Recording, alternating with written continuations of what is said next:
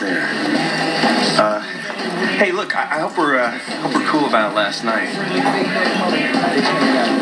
Last night? Like I said, I was kind of was kind of in scary mode back there. Just, sometimes it comes off a little threatening or whatever. Just, I don't find you threatening. Oh well, you're you're very uh, you're very uh, kind. At all. listen, I still feel like I should make it up to you somehow, just just in, in some way, you know, just uh, I feel like I should take you out to dinner or something just to, to make up for being so scary or whatever. I'm really busy.